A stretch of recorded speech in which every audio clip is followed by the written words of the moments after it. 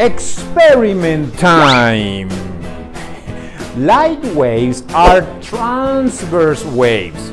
Light spreads out in all directions, traveling in a straight lines. Light can move through a vacuum because it doesn't need matter to transmit its energy. For this experiment, you will need three small mirrors, some objects that you can find at home, a flashlight, and a piece of paper.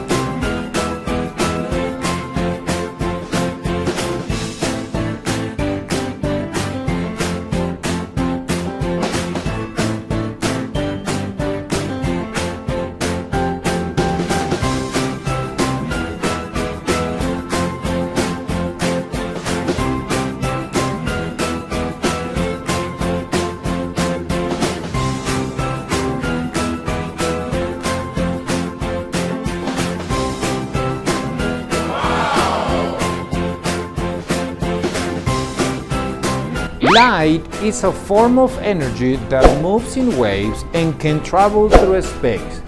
Light spreads out in all directions but travels in straight lines. Can you do it?